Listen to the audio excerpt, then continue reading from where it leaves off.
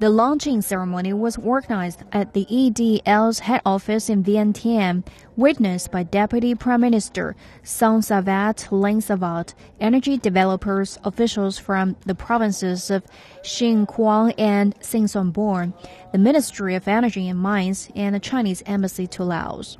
The plant, which is located in Longchaeng district of Xaysomboun province, will be the largest hydropower station in Laos. It is a major power plant project in the country that the government has assigned Electricité de Laos or EDL to develop and operate. The project will have two sets of Francis type turbine generators with a single unit capacity of 240 megawatts to be installed in a powerhouse. EDL's managing director said at the groundbreaking ceremony that the project will have an installed capacity of 480 megawatts and will be able to generate about 2,345 million kilowatt per hour of energy annually. It is expected to be completed in six years with total investment of 1.29 billion US dollars.